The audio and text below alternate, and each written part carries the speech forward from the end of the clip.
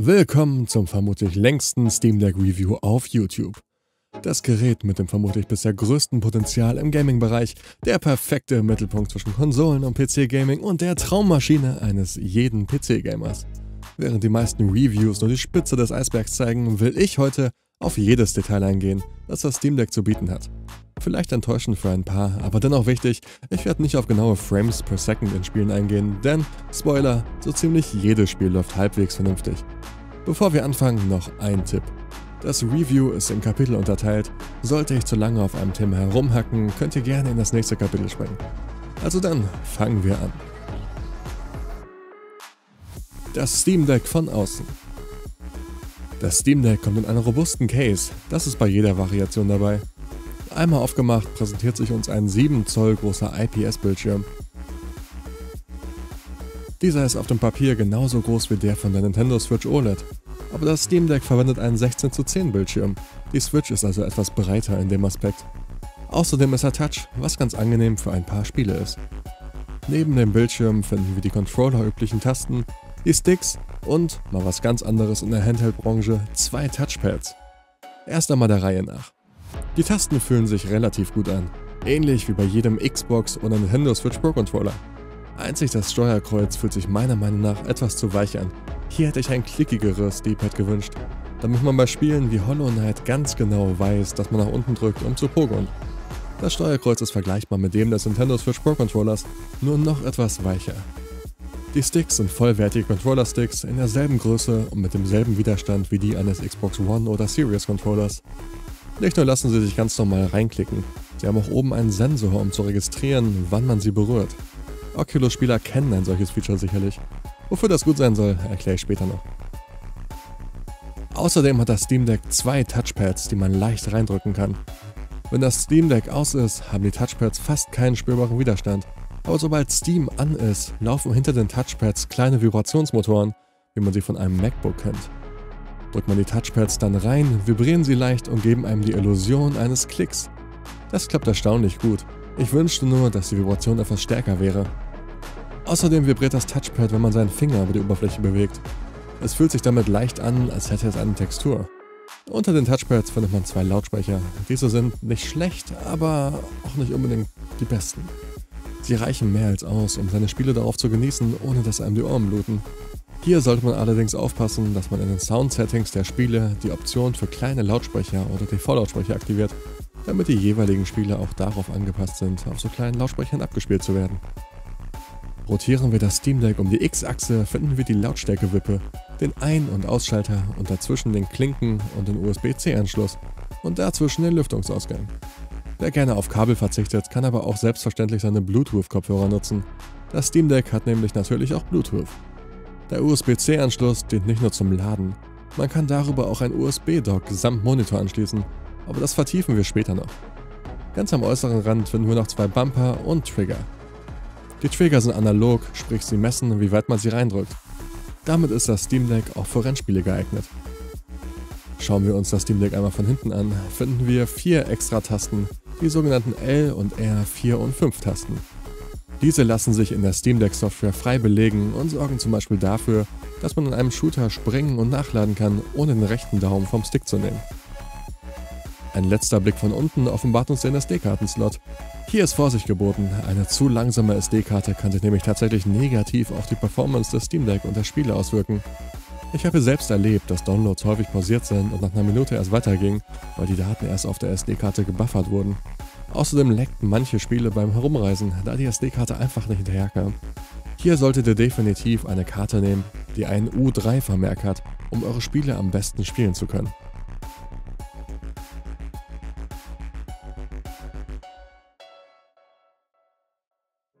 Das Steam Deck von N. Kommen wir zu den inneren Werten. Das Steam Deck kommt in drei Ausführungen. Die günstigste Version für 419 Euro kommt mit nur 64 GB eMMC-Speicher. Das ist langsamer Flash-Speicher, der oft in Handys, Tablets und sehr sehr günstigen Notebooks Anwendung findet. Für 130 Euro mehr erhält man das Steam Deck, was ihr hier im Video seht. 256 GB Speicher auf einer NVMe SSD. Außerdem gibt es für 679 Euro noch eine Variante mit 512 GB. Einem geätzten Display und einer exklusiven digitalen Tastatur. Die SSDs sind alle im M2 2230 Format, das kleinste M2 Format auf dem Markt und wie für einen guten PC üblich kann man sie ersetzen und später größere SSDs einbauen. Bei allen Steam Decks gibt es das eben gezeigte Case dabei. Nice. Das sind auch die einzigen Unterschiede zwischen den Modellen. In allen Steam Decks steckt ein Ryzen-Chip mit 4 Kernen und 8 Threads sowie 16 GB kombinierter Arbeits- und Videospeicher. Außerdem kann die Grafikeinheit Raytracing, allerdings wird dies von SteamOS derzeit nicht unterstützt. Sprich, man muss derzeit Windows installieren, um in den Genuss dieser Grafikoption zu kommen. Das Ganze wiegt satte 669 Gramm. Nice. Und damit auch deutlich mehr als die knapp 420 Gramm einer Nintendo Switch OLED. Und das spürt man. Beim Zocken habe ich schon nach kurzer Zeit das Steam Deck auf meinem Bauch abgelegt, weil es einfach echt auf die Handgelenke ging. Bei der Power, die in dem Gerät steckt, ist das verständlich. Für einen potenziellen Nachfolger würde ich mir aber dennoch wünschen, dass Valve sein Steam Deck einmal auf Diät schickt. Ganz zum Schluss noch eben der Touchscreen. Dieser ist ein IPS-Bildschirm mit einer Auflösung von 1280 x 800. Damit hat er ein 16 zu 10 Bildformat, was heutzutage leicht ungewöhnlich ist. Die Nintendo Switch, jeder Fernseher und quasi jeder Monitor heutzutage hat ein 16 zu 9 Format, sprich sie sind an den Seiten breiter. Das lässt sich in den Optionen der jeweiligen Spiele aber anpassen, sprich wer wirklich will oder muss, kann das Steam Deck auch mit Letterboxes betreiben. Der Bildschirm ist, wie bereits erwähnt, IPS, hat also nicht ganz perfekte Schwarzwerte, Dafür ist er mit rund 400 Nits rund 60 Nits heller als der OLED-Bildschirm der Nintendo Switch. Auf Reddit gab es übrigens Fotos von einer Entwickleroption, die wohl bald sogenanntes VRR, Variable Refresh Rate, erlauben könnte. Damit würde das Steam Deck immer von 40 bis 60 Hz genauso viele Frames darstellen, wie das Spiel auch ausgibt. Das hilft bei Spielen, die nicht perfekt mit 60 oder 50 laufen, sondern zwischendurch mal ein kleines bisschen darunter hängen. Links im Reddit-Thread findet ihr in der Beschreibung. Mal gucken, ob sich das bewahrheitet. SteamOS. Ich würde gerne zuerst darüber reden, wie sich deine Spiele auf diesem Gerät überhaupt spielen. Aber das ist gar nicht so einfach ohne ein paar gewisse Vorkenntnisse, wie denn das Steam Deck überhaupt funktioniert. Auf dem Steam Deck läuft SteamOS. Das Ganze ist quasi Steam in Konsolenformat. Wer das Big Picture Menü von Steam am PC kennt, weiß schon ungefähr, was Sache ist. Allerdings ist das hier ein bisschen mehr als das Big Picture Menü. Es ist ein ganzes Linux basierend auf Arch Linux. Das muss euch allerdings nicht besorgen. Ihr müsst mit der Linux-Seite des Steam Deck nämlich gar nicht interagieren, wenn ihr nicht wollt. Außerdem kann auf das Steam Deck sogar sehr einfach Windows installiert werden, auf Kosten der einfachen Benutzbarkeit, versteht sich. Also, auf dem Steam Deck läuft Linux. Aber irgendwie sagt Steam, dass es meine Lieblingsspiele gar nicht für Linux gibt? Wie geht das denn dann? Steam Deck kommt einer Übersetzungsschicht namens Proton, die Windows-Spiele und Programme auf Linux übersetzt. Das klappt von Holy shit, es ist wie auf Windows bis hin zu ohne Tutorial klicke ich hier gar nichts an. Das Ganze ändert sich auch mit jedem Update und davon gibt's viele. Seit ich mein Steam Deck vor 5 Wochen gekriegt habe, kamen bereits vier raus. Eines davon hat sogar ein Feature eingebaut, um eigene Boot- und Shutdown-Animationen einzubauen. Nice. Also, muss man sich Sorgen machen um seine Lieblingsspiele? Für gewöhnlich nicht, nein. Eine Sache, die ich noch nicht erwähnt habe, das Steam Deck kommt mit Steam wie unerwartet und all seinen Features, wirklich allen, soweit ich das bisher gesehen habe. Dazu später noch mehr. Außerdem ein kleiner Bonus, das Steam Deck lässt sich jederzeit in den Standby-Modus schalten und wieder aufwachen, selbst beim Zocken. Und noch ein kleiner, aber heftig nicer Bonus, den ich noch während des Schreibens des Reviews herausgefunden habe. Man kann beim Zocken einfach auf ein anderes Spiel wechseln, das spielen und später wieder zurück. Wieso hat hierüber noch niemand geredet? Das ist heftig nice.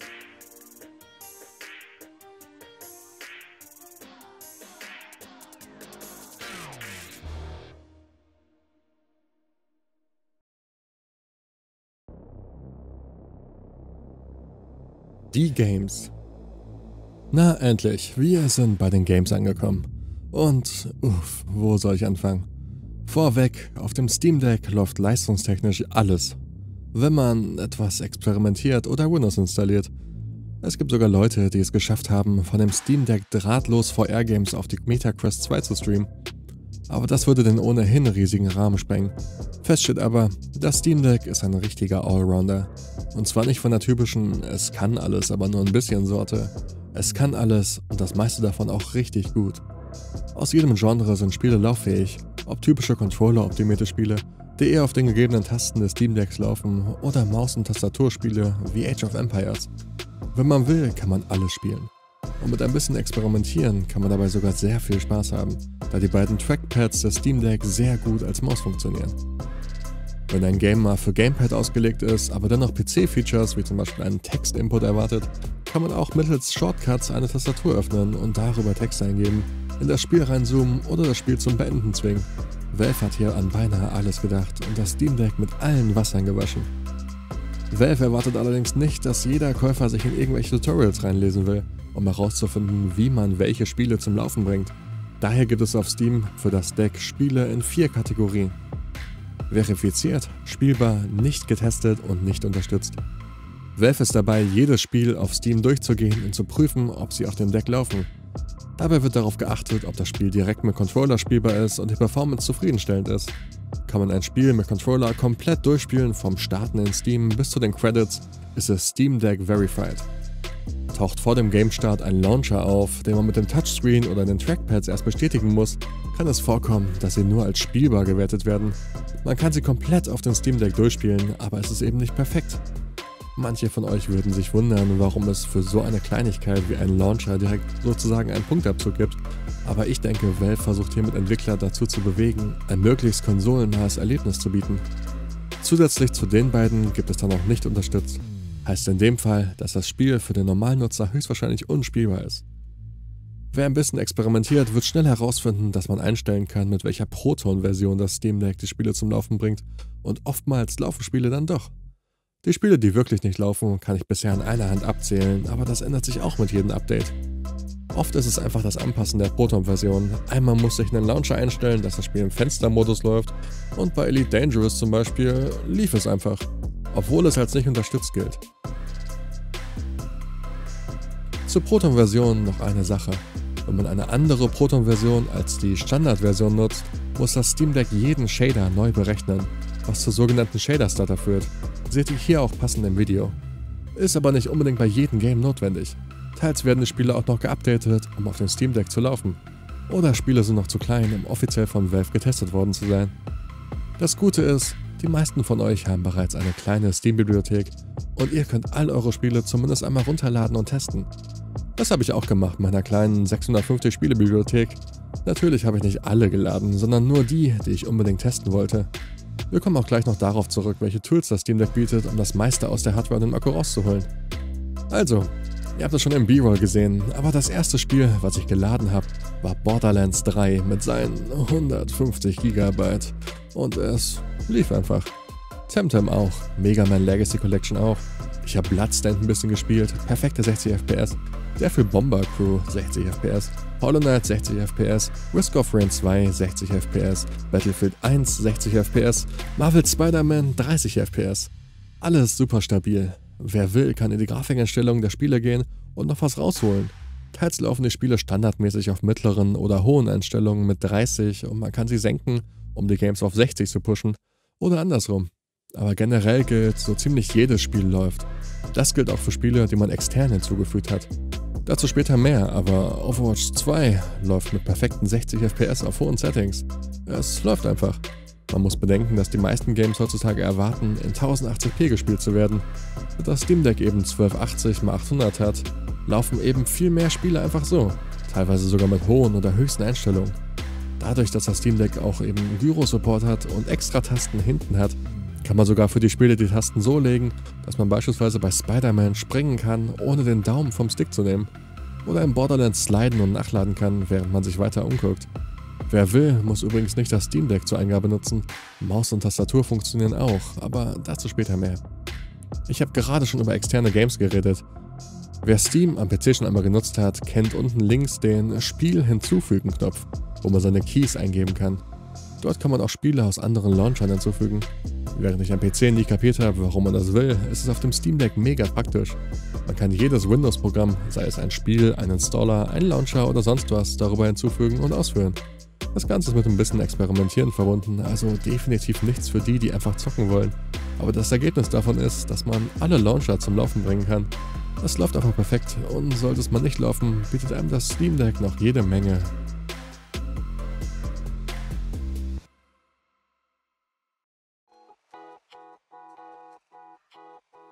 Performance-Optionen. Uff, uff, uff, uff. Deepes Thema, aber wichtig für unser vollumfassendes Steam Deck Review. Der Steam Deck hat zwei Tasten, die man im Spiel drücken kann, um ein Menü hervorzurufen. Den Steam-Knopf links und äh, drei Punkte. Äh, wow. Was dahinter steckt, ist aber unglaublich spannend, wenn man dann experimentieren mag. Wer von der PC-Seite kommt, wird ein oder zwei Punkte vielleicht schon kennen aus verschiedenen Übertaktungstools wie MSI Afterburner. Wer allerdings von der Konsolenseite kommt, wird vermutlich nicht super viel mit den Namen anfangen können. Rattern wir einmal alles herunter, angefangen mit den Grundgedanken. Das Steam Deck ist ein PC. PCs haben normalerweise keinen Akku. Und wenn doch, ist der Akku meistens ungefähr so groß wie das Steam Deck selbst. Spiele, die auf dem Steam Deck laufen, wollen gerne alles nutzen, was das Steam Deck hergibt. Daher ist bei den meisten Spielen auch die Akkulaufzeit ungefähr bei 1 bis 2 Stunden. Klingt furchtbar, ist es aber nicht, denn das Steam Deck bietet den Tüftlern unter uns alle Informationen, die wir brauchen, um die Akkulaufzeit mindestens zu verdoppeln. Fangen wir oben an, sehen wir eine Option, um ein Leistungsoverlay darzustellen. Das reicht von der Anzeige der aktuellen FPS bis hin zur Grafikchip und Prozessorauslastung, bis hin zur Auslastung des Grafik- und Systemspeichers sowie jedes einzelnen Prozessorkerns. Das ist zugegebenermaßen sehr viel Info, womit die allermeisten vermutlich nicht viel anfangen können, aber es verrät uns genau, was wir mit den nächsten Optionen machen müssen. Zunächst versteckt hinter einem Button findet sich die erweiterte Ansicht, wo wir zunächst einmal die Frames pro Sekunde limitieren können. Viele Spiele brauchen einfach keine 60 FPS, um sich vernünftig zu spielen, und wenn wir hier bereits einmal die Framerate auf 30 begrenzen, können wir schon deutlich mehr Akkulaufzeit aus dem Steam Deck herausholen. Das Steam Deck hat einen 60 Hz Bildschirm und erlaubt daher auch die Framerate auf 60, 30 oder 15 FPS zu begrenzen, der vollen, halben oder Viertel Framerate. Viele kennen die Wahl zwischen 60 und 30 aus der Konsolenwelt, aber das Steam Deck hört hier nicht einfach auf. Der Bildschirm lässt sich frei von 60 bis auf 40 Hertz runterregeln. Sprich, wenn das Spiel mal nicht mit 60 läuft, kann man es vielleicht auf 50 FPS stabil zum Laufen bringen. Oder 40 oder 45. Das klingt für viele von euch vielleicht irgendwie dumm, aber es ist enorm, wirklich enorm geil dass man das Steam Deck so derartig an die Gegebenheiten eines jeweiligen Games anpassen kann. Ich habe es vorher nicht erwähnt, aber ich habe Borderlands 3 mit 40 FPS größtenteils gespielt. Es klingt nicht so, aber 40 fühlt sich deutlich, deutlich flüssiger an als 30. Mehr als man sich beim Zuhören vorstellen kann. Wer sich tiefer anschauen will, warum das so ist, dem empfehle ich ein passendes Video von Digital Foundry, die sich einen 40 FPS Modus bei Ratchet Clank angeschaut haben. Kurz am Rande, das Thema begeistert mich sehr, sorry falls das für euch zu deep ist. Nutzt daher gerne die Kapitel, um direkt zum nächsten Thema zu springen. Zurück zur Liste. Das Steam Deck gibt allen noch die Option, sogenannte Variable Rate Shading bei Games zu forcieren. Das ist heftig genial und klappt fast nie gut. Ich habe auch keinerlei Performance-Unterschiede je feststellen können. Nur wird oft das HUD von Games verpixelt. Einfach auslassen. Spannend sind die beiden Punkte darunter. TDP einschränken und manuelle GPU-Taktsteuerung. TDP heißt Thermal Design Power, wird aber meist mit dem Stromverbrauch an der CPU assoziiert. Hier ist es wichtig, das Leistungsoverlay von vorhin aufzuhaben. Hier kann man nämlich sehen, wie sehr die CPU ausgelastet ist. Hat man beispielsweise 60 FPS und dann noch eine sehr geringe CPU-Auslastung, kann man diese TDP verringern und erhöht damit super easy die Akkulaufzeit. Das gleiche gilt für die Grafikeinheit. Standardmäßig ist der Takt variabel. Das Steam Deck passt ihn selbst an, um ein bisschen Akku zu sparen, aber dennoch genug Leistung zu bringen. Im Overlay können wir den Takt auslesen und falls die Grafikeinheit eh ausgelastet wird, können wir ihn auch einfach manuell von 1600 MHz bis runter zu 300 MHz anpassen. Wer will, kann damit Strom sparen oder umgekehrt ein paar Lags in Spielen ausgleichen. Kleiner Deep Dive, die Grafikeinheit ist auf demselben Chip wie der Prozessor. Beide teilen sich die Stromzufuhr. Wenn beides ausgelastet ist, zieht einer von den beiden den kürzeren oder sogar beide. Daher kann es in Szenarios, wo der Prozessor limitiert, oft helfen, die Megahertz der Grafikeinheit zu limitieren. Ihr merkt euch Szenarios, wenn ihr zwischendurch kleine Mikrohänger habt, die ihr nicht erklären könnt. Wäre natürlich schön, wenn es hier vorbei wäre, aber es gibt noch einen letzten Punkt. Skalierungsfilter. Klingt wie eine Option, die man auf den Ports von Retro-Games findet, aber hier ist es tatsächlich mega praktisch. Der Steam Deck bietet hier nämlich vier Filter. Linear, Nearest, Integer und FSR, sprich AMDs Fidelity FX Super Resolution in der Version 1.0. Bei Linear verhält es sich ähnlich wie bei einem Foto, in das man am Handy reinzoomt. Es wird einfach ein bisschen unschärfer, genauso ist es hier auch mit der Auflösung. Nearest macht das gleiche, nur wird das Bild nicht unscharf, sondern verpixelt. Integer sorgt dafür, dass es einfach gar keine Skalierung gibt und das Bild einfach kleiner wird. Und dann gibt es noch FSR, Fidelity FX Super Resolution. Klingt geiler als es ist, aber auf dem Steam Deck hilft es tatsächlich. FSR agiert ähnlich wie der lineare Filter, nur dass hier die Kanten des Bildes gefunden und glatt gezogen werden. So sind Spiele, die eine sehr cleane Grafik haben, bestens für FSR geeignet, weil man dann einfach die Auflösung senken kann und FSR schraubt sie wieder hoch. Kein Wunderwerk, aber echt ganz nett, besonders auf dem vergleichsweise kleinen Bildschirm. Für die Konsolenspieler, die es womöglich nicht wissen, da sie nie davon betroffen waren, am PC kann man die Auflösung von Games frei bestimmen. Da gibt es keinen Quality Mode oder Performance Mode, wo es dann in 4K 30 oder 1440p 60 läuft. Man selbst bestimmt die Auflösung und schaut, was die Performance dann hergibt. Und das kann man bei jedem Spiel machen. Muss man nicht, denn quasi jedes Spiel hat bereits Vorlagen dafür, aber man kann es. Schauen wir uns Spyro Reignited Trilogy an. Das Spiel läuft derzeit auf mittleren Einstellungen mit der nativen Auflösung mit rund 60 FPS. Kann man so stehen lassen, wenn man mag, aber die Akkulaufzeit wird gerade auf ungefähr 2 Stunden geschätzt von Overlay.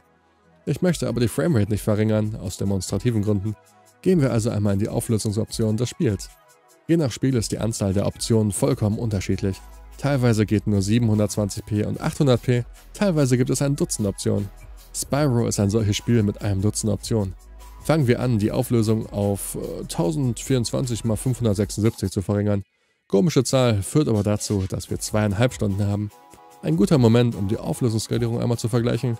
Wir merken schnell, dass Linear relativ weich aussieht, Nearest ein relativ verpixeltes Spiel ausgibt, Integer einfach das Spiel verkleinert und FSR tatsächlich eigentlich wie vorher aussieht. Klar, Spyro ist grafisch optimal für FSR, aber dennoch.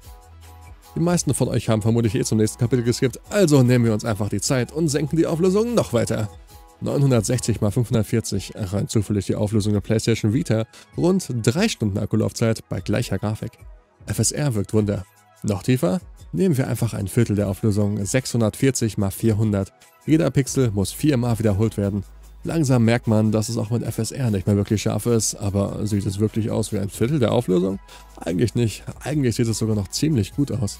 Auf der Switch würden wir dem Spiel sehr leicht verzeihen, wenn es so aussehen würde, also warum nicht hier? Die 60 FPS werden dadurch übrigens auch nicht geschmälert.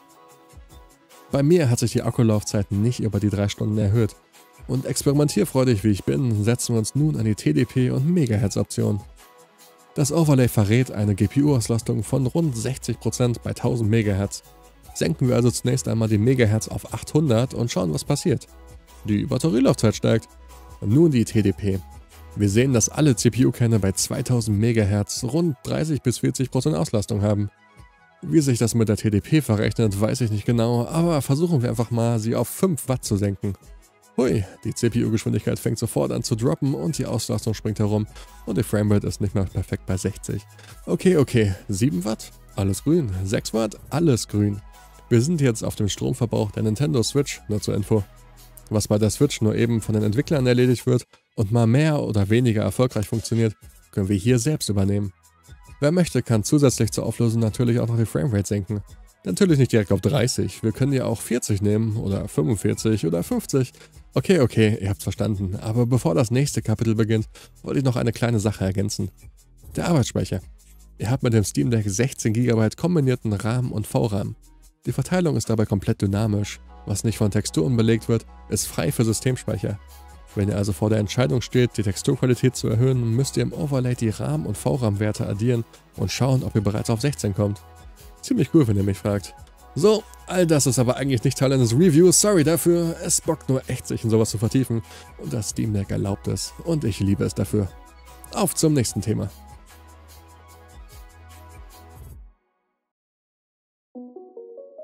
Streaming. Ähm, was? Streaming mit dem Steam Deck? Hiermit meine ich nicht das Twitch- oder YouTube-Streaming, sondern sogenanntes In-Home-Streaming. Wie bereits gesagt, läuft auf dem Steam Deck wortwörtlich Steam.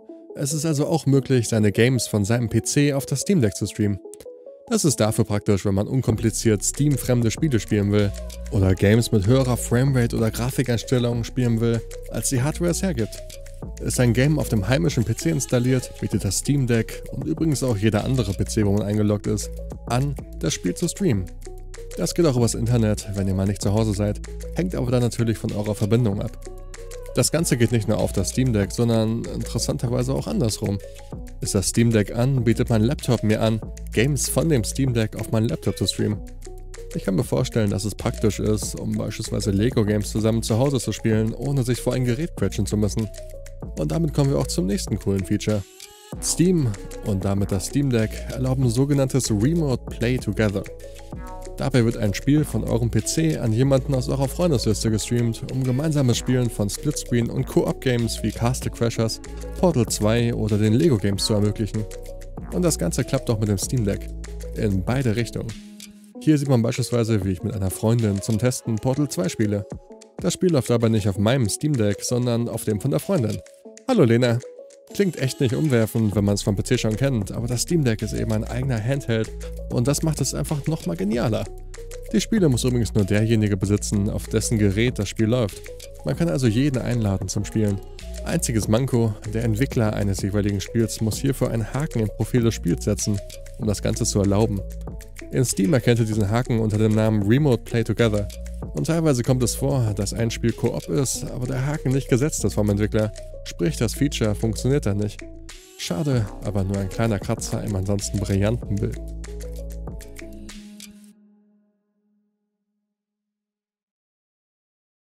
Steam Input Bevor ich anfange zu reden, dieses Kapitel wird ziemlich deep. Falls es euch zu deep wird, nutzt die Kapitelfunktion nur als Reminder. Für alle anderen, let's fucking go. Steam Input, so nennt Valve die eigene Programmierung, um Eingaben von einem Controller an ein Spiel zu übermitteln. Wer bereits in vorigen Kapiteln dachte, dass Valve uns viel Spielraum gibt, hat noch gar nichts gesehen.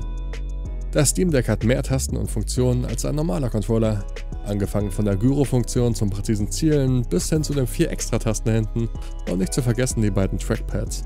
Spiele wissen gar nicht, was die ganzen Sachen sind, weil so ziemlich alle Spiele für den Xbox-Controller gemacht worden sind am PC. Leute, die den Steam-Controller von damals kannten oder noch haben, kennen all das schon, was jetzt kommt. Für alle anderen könnte es aber echt viel und teilweise zu viel werden. Ihr seid gewarnt. Fangen wir auf dem einfachsten Level an. Steam Input erlaubt es, den physischen Controller vom Steam Deck so interpretieren zu lassen, dass das Spiel denkt, dass ein oder mehrere andere Geräte angeschlossen sind. Das kann heißen, dass mein rechter Stick wie die Maus funktioniert und mein linker wie die Tasten WASD, was für manche ältere Spiele ohne Controller-Support notwendig ist. Das klingt alles erst einmal wie eine einfache Remapping-Funktion, geht aber so unglaublich viel tiefer. Für alle, die sich in sowas nicht reinlesen wollen, bietet Steam bereits Controller-Profile an, die entweder der Entwickler oder die Community gemacht haben. Für alle Steam Deck Verified und Steam Deck spielbar Spieler ist das bereits so. Wer mit einem Profil nicht zufrieden ist, kann zwischen anderen wechseln. Steam zeigt dir an, wie lange insgesamt bereits mit einem Community-Profil gespielt wurde um bei der Suche zu helfen. Gute Profile wurden hoffentlich lang gespielt, mag man sich denken.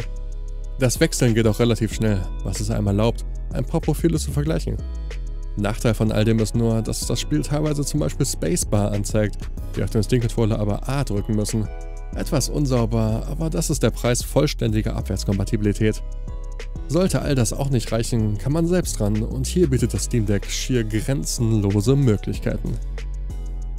Jede Taste des Steam Decks lässt sich mit einer Taste von einer normalen Tastatur oder Maus oder einem Xbox-Controller belegen. Die A-Taste am Steam Deck kann im Spiel die B-Taste eines Xbox-Controller auslösen oder die linke Maustaste oder die Leertaste oder die Screenshots-Funktion von Steam oder sogar das Steam Deck ausschalten. Jede Taste lässt sich so anpassen. Wir müssen auch die Rückbuttons so belegen, sonst machen die nämlich gar nichts. Standardmäßig legt Steam die A, B, X, Y-Tasten auf die Rücktasten, wenn man sie in den Optionen anmacht aber das macht nicht unbedingt Sinn, das so zu lassen. Beispielsweise kann man im Borderlands mit einem Klick auf M auf der Tastatur sofort die Karte öffnen, mit I sofort das Inventar. Auf dem Controller ist alles auf der linken Menütaste und man muss durch das Menü navigieren. Warum also nicht direkt in das Menü gehen, in das man will? Das ist alles noch simpel, aber wer genau hinguckt, sieht für jede einzelne Taste noch einen Optionsknopf, jede Taste lässt sich doppelt belegen. Jede Taste kann intern einen normalen oder doppelten Tastendruck auslösen. Man kann sogar sagen, dass beim Drücken von X intern eine andere Taste für genau 200 Millisekunden gedrückt gehalten wird. Klingt für die meisten irgendwie unnötig, aber man kann sich damit wortwörtlich Makros erstellen, sprich Aktionsketten, die sich automatisch ausführen. Und hier fängt es schon ganz langsam an deeper zu werden, aber das ist noch gar nichts. Gucken wir in die weiteren Einstellungen, gibt es die vom Billig-Controllern bekannte Turbo-Funktion, sprich dass die Taste intern ganz oft gedrückt wird, während wir sie nur gedrückt halten. Außerdem können wir einstellen, dass die Taste als Schalter funktioniert. Drücken wir einmal die Menütaste auf dem Steam Deck, wird intern so lange Tab gedrückt gehalten, bis wir noch einmal die Menütaste drücken. Das ist beispielsweise praktisch, wenn man sich Scoreboards im Multiplayer-Spielen angucken will, ohne die Hände zu verkrampfen. Wenn wir einmal zu den anderen Tasten springen, um genau zu sein zu den Triggern, sehen wir, dass man auch bei denen extra Funktionen hat. Steam erlaubt es, für die Trigger zwei Tasten festzulegen. Beispielsweise kann man auf L2 Trigger Druck C legen und auf L2 Trigger Klick dann Steuerung, um im Battlefield zu crouchen und sich anschließend hinzulegen, wo man den Trigger leicht oder ganz reindrückt. Oder man kann auf den rechten Trigger festlegen, dass ein Druck die rechte und ein Durchdrücken die linke Maustaste drückt. So kann man mit einer einzigen Taste zielen und schießen, ähnlich wie im Breath of the Wild. Wer will, kann auch hier einen Turbo-Modus anmachen und die Reaktionskurve bearbeiten, sprich wie viel Prozent des Reindrückens digital gemessen werden. Kann praktisch sein, wenn man sehr feinfühlige Hände hat oder eben nicht. Die Sticks haben beide Sensoren in der glatten Oberfläche, um festzustellen, ob sie berührt werden. Das ist für das Steam Deck sicherlich praktisch, aber für uns auch. Wir können einstellen, dass das pure Berühren bereits eine Aktion auslöst. Das ist praktisch, wenn wir die Gyro-Funktion zum Zielen nutzen. So kann Gyro deaktiviert werden, wenn wir die Sticks nicht berühren, um beispielsweise eine angenehme Position in unserer Hand zu finden, wenn wir mal zu krass gezielt haben. Vermutlich nicht nötig, aber dennoch praktisch, die Dead Zone lässt sich hier auch direkt einstellen. Jetzt wird allerdings deep. Das Steam Deck erlaubt es, das Verhalten der Sticks einzustellen. So kann ein Stick beispielsweise als Maus- oder Steuerkreuz dienen. Oder für die Coolen unter euch auch als Flickstick. Mit ein bisschen Experimentieren kann so jedes Spiel Flickstick-fähig gemacht werden. Oder man erstellt ein Radial- oder Touch-Menü. Ja, Steam Deck erlaubt es, die Sticks und Touchpads mit zig weiteren Tasten zu belegen. So kann man in einem MMO beispielsweise das Housing, den Shop und quasi jedes andere Untermenü direkt in dieses Radialmenü legen, um so trotz der Limitierung eines Controllers noch alle Tasten einer Tastatur nutzen zu können.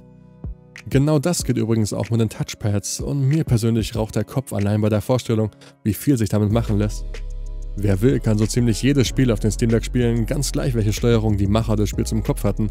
Und all das lässt sich auch noch an Konditionen binden. So ist es beispielsweise möglich, mittels einer Taste ein neues sogenanntes Aktionsset festzulegen, was es erlaubt, jede Taste doppelt und dreifach zu belegen. So ist es möglich, beispielsweise die Steuerung von Zelda Breath of the Wild zu rekonstruieren, wo die D-Pad-Tasten jeweils ein Menü geöffnet haben zur Auswahl der Waffen. Und für all das bietet Steam sogar noch Icons an, dass man die Auswahl in den Menüs visuell besser darstellen kann, samt Farbe und Benennung der Icons. Es ist wortwörtlich mindblowing, was Valve gebaut hat, und es ist noch unglaublicher, dass niemand darüber spricht. Und nicht nur das, das geht auch mit allen anderen Controllern. Steam hat offiziellen Support für PlayStation 3, 4 und 5 Controller, den Switch Pro Controller, die Joy-Cons, den SNES und NES und N64 Controller, den Steam Controller sowie jeden Xbox Controller. All diese Controller haben all diese Möglichkeiten. Und da wir wissen, dass man jede Taste doppelt und dreifach belegen kann, bin ich mir sicher, dass man Spiele wie Assassin's Creed locker auch auf einem SNES-Controller zum Laufen bringen könnte. Einfach nur genial. Das einzige wirklich kleine, was diesen wahnsinnigen Eindruck mindert, ist, dass es einen Bug in SteamOS gibt, der dafür sorgt, dass man beim Drücken der Home-Taste immer wieder beim Controller-Menü landet und immer wieder B drücken muss, bis man im normalen Menü ist, um das Game zu beenden. Wer von euch fragt, ob man das wirklich nutzt am Ende, ja gut, vielleicht nutzt das wirklich nicht jeder, aber die Möglichkeit ist da. Ich habe selbst genutzt, um beispielsweise mittels Radialmenü meine vier Waffen in Borderlands direkt auswählen zu können oder eben um direkt ins Inventar zu springen. Es ist wirklich einfach nur genial und das war noch nicht alles.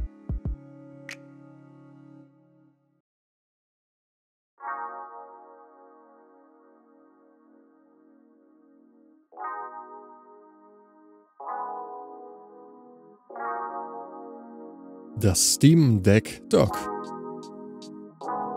Zu dem Zeitpunkt, an dem das Review geschrieben wurde, ist das Steam Deck Dock gerade erst rausgekommen und ich hab's tatsächlich noch nicht. Das hält mich aber nicht ab, meine Erfahrungen zu schildern. Warum? Na, weil das Steam Deck per USB-C mit jedem Monitor bereits jetzt verbunden werden kann. Wer von der Arbeit eine Docking Station besitzt, kann die einfach an sein Steam Deck schleudern und Spiele auf dem Monitor oder Fernseher genießen. Man merkt ja auch schnell, warum das Dock nicht gleichzeitig mit dem Steam Deck herauskam. Erst mit den letzten Updates hat Valve das Steam Deck fürs Docking optimiert.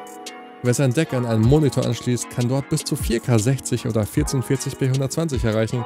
Und nicht nur das, das ganze SteamOS passt sich an die Bildschirmgröße an. Was auf dem 7 Zoll Bildschirm vom Steam Deck ganz nah beieinander liegt, ist in großer Form weit auseinander und erlaubt auch von der Couch noch eine natürliche Erfahrung. Und nicht nur das. Ich habe es vorhin schon angesprochen, PlayStation, Xbox und Switch Controller funktionieren alle mit dem Steam Deck. Funktionieren ist hier sogar noch etwas zu tief gegriffen.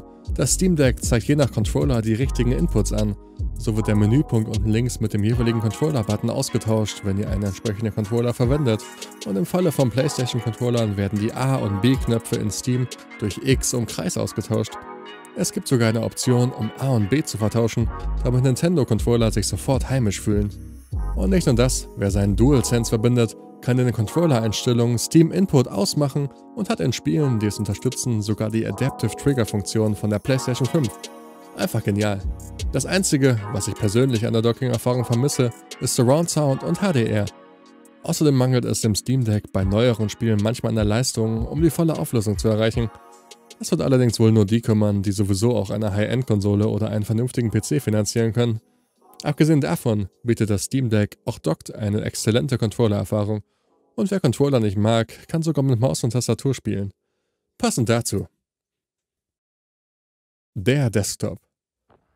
Wer am Steam Deck unten in den Ein-Aus-Bereich navigiert oder den Power-Button gedrückt hält, wird schnell einen Menüpunkt namens Desktop finden. Sehr kurios, ein Desktop an einer Konsole? Klingt ja wie ein PC. Ein Klick und wenige Sekunden später sehen wir einen komischen Desktop. Einerseits vertraut, andererseits fremd. Denn es ist Linux um genauer zu sein Arch Linux. Halt, stopp, nicht weglaufen. Ich war selbst anfangs nicht überzeugt. Ich habe mein Leben lang Windows-Geräte bedient, kenne die genauen Dateistrukturen von Windows, weiß, dass Konfigurationsdateien unter AppData und Dokumente liegen, weiß, wo ich meine Festplatte bereinigen kann und so weiter und so weiter. Aber für all das gibt es Guides. Mit diesen Guides kann man quasi alles zum Laufen bringen. So habe ich beispielsweise Battle.net zum Laufen gebracht und externe Software wie Lutris installiert die Windows-Games teilweise besser, teilweise schlechter zum Laufen bringt als Steams Proton. Und nicht nur das, wenn man im Desktop-Modus unterwegs ist, funktioniert alles wie an einem PC. Man kann mehrere Monitore nutzen, es funktionieren Ultra-Wide-Monitore, man kann browsen und beispielsweise Cloud-Games starten und in meinen Notizen steht hier, alles ist möglich, wenn du dich traust. Genauso ist es mit dem Desktop. Es ist, und ich weiß, ich wiederhole mich hier, ein PC. Man kann auch so ziemlich jede Windows-Anwendung hierüber zu Steam hinzufügen und in Steam ausführen. Das gilt nicht nur für Spiele, sondern auch Programme oder Installer. Beispielsweise habe ich so GeoG Galaxy in Steam installiert. Klingt komisch, wenn ihr aber selbst damit herumtüftelt, ergibt alles einen Sinn. Abgesehen davon funktioniert Steam hier wie auf einem normalen PC. Man kann ganz normal, wie man es von einem PC kennt, zocken. Doch was, wenn man Spiele spielen will, die es gar nicht auf PC gibt? Emulation für den Fall gibt es eine praktische Software namens EmuDeck. Fertig eingerichtet fügt sie sogenannte ROMs mitsamt passender Artworks zu Steam hinzu und bindet sie so ein, dass sie auf dem ersten und auf dem zweiten Blick aussehen, als seien sie normale Steam-Games. Starten wir dann im Steam The Legend of Zelda Wind Waker HD, so startet sich im Hintergrund der Emulator Samu und führt automatisch Wind Waker HD aus. Alles automatisch, alles reibungslos, es wirkt, als würde man einfach Zelda starten. Dieses Review ist aber nicht für EmuDeck, sondern für das Steam Deck. Reden wir also über Performance. Und uff, das Steam Deck performt.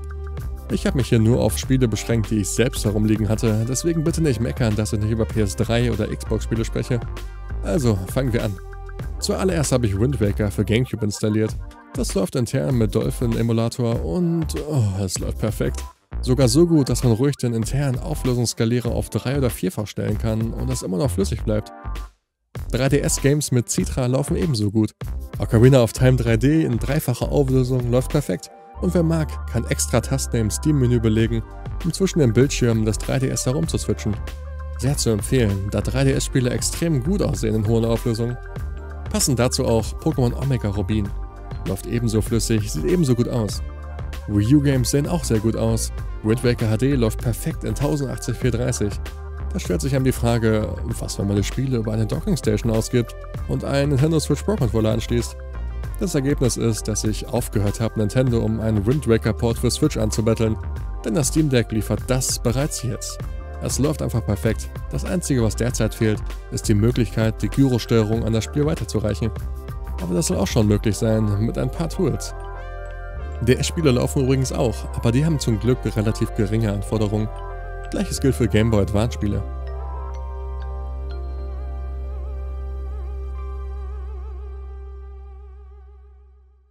Fazit.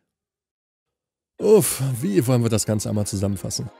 Das Steam Deck erlaubt es, die komplette Geschichte des PC-Gaming im Rucksack dabei zu haben. Die meisten Spiele laufen out of the box und die, die nicht laufen, laufen oftmals mit ein oder zwei Klicks trotzdem.